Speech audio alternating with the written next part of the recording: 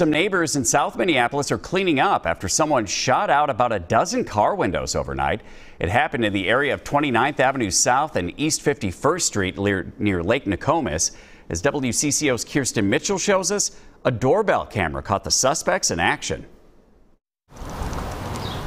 Yeah, not the way to start the day. Neighbors in South Minneapolis woke up Sunday to a mess. Yeah, you can see there's still glass along here where the, like my neighbor's car was parked.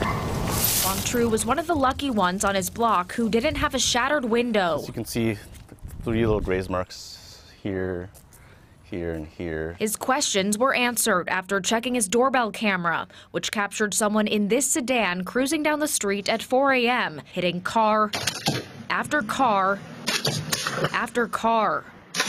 I don't know kind of gun. It was possibly like a BB gun or something, but still, it's a little alarming. Neighbors estimate around 10 to 15 cars were hit in a span of two blocks, mostly here on 29th Avenue South between East 50th Street and 52nd.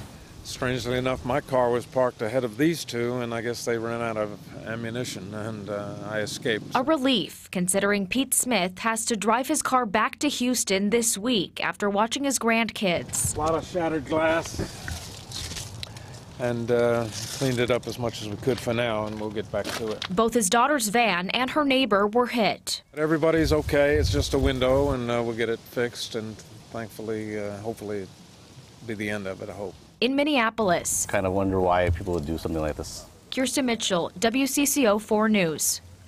Minneapolis police tell us they are investigating. In total, they say 14 cars were hit, potentially by a BB gun. No one was hurt.